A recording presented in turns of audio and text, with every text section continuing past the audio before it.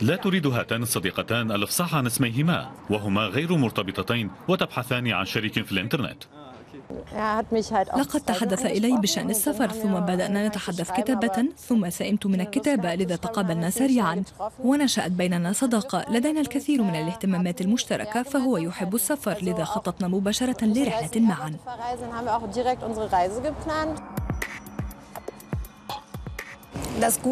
الجيد في الأمر أنك تترك الخجل لأنك تعرف أن لديك شريكا ملائما وتعرف أن الآخر مهتم بك وأنت مهتم به.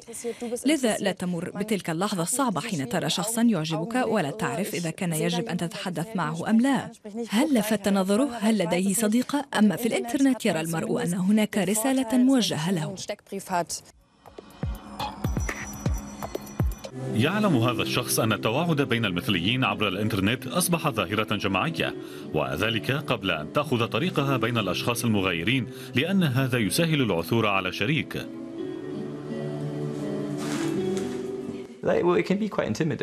قد يكون من المخجل أن تذهب إلى ناد أو حانة للمثليين. فالناس هناك يقسون في الحكم عليك. حين ينظرون إلى جسمك أو شعرك أو مظهرك. لذا؟ من المريح أن تتعرف إلى الناس عبر الإنترنت قبل أن تقابلهم. فأنت ترى الصور وتختار ما يعجبك ثم تبدأ بالحديث. أعتقد أن الضغط حينها يكون أقل. والمنافسة قوية بين أصحاب مواقع التعارف. السوق تنتعش من قيام الشبان والشابات بالتعارف عبر مواقع تقدم عروضا غير ملزمة. ويفعلون هذا في وقت مبكر جدا مع أنهم ليسوا بحاجة إلى ذلك. لقد أصبحت التقنية أكثر بساطة وأصبحت المواقع مفهومة أكثر لأن الناس بمن فيهم المتقدمون في العمر يستخدمون الحواسيب اللوحية بكثرة ويستخدمون هذه المواقع.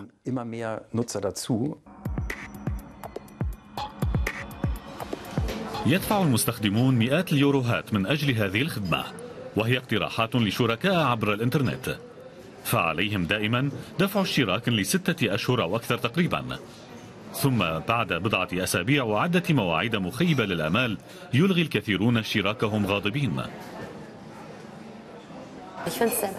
برأيي هي علاقات لا تدوم طويلا فيها الكثير من سوء الفهم وغياب للرومانسية. قد تنجح في حالة أو أخرى. لكن جمال اللحظة غير موجود وكذلك عليك أن تكون دائما متواجدا على الإنترنت للرد. وأنا أعرف نفسي لأنني مشغولة بعملي ولدي وقت قليل لأصدقائي. والعلاقة تحتاج للعمل على بنائها. أعتقد أنها فشلت بالنهاية لهذا السبب. لكنه ليس بالأمر السيء. سؤال لأصحاب هذه المواقع. هل الشخص صعب المصادقة هو الزبون الأفضل؟ الزبائن الذين يجدون شركاء هم مهمون بالطبع بالنسبة إلينا. ففي النهاية هذا هو هدف الموقع. وحين تقرأ تقييم موقعنا هذا ما يكتبه الزبائن. يجب أن يبقى المرء واقعيا خصوصا حينما يكون متقدما في العمر. فالعثور على شريك يستغرق وقتا أطول. وما هي نسبة النجاح؟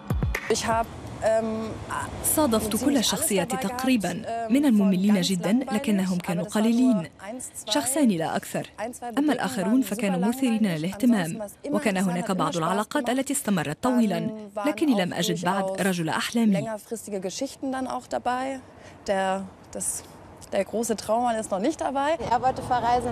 لقد أراد القيام برحلة وبالفعل سافرنا معا بعد أن تعرفنا مباشرة. تجولنا لمدة أربعة أشهر وتعرفنا على بعضنا البعض بشكل جيد. هما معا منذ ثلاث سنوات ولم يندما على التعارف عبر الإنترنت لكن البحث عن شريك عبره يعني أنك غير مرتبط.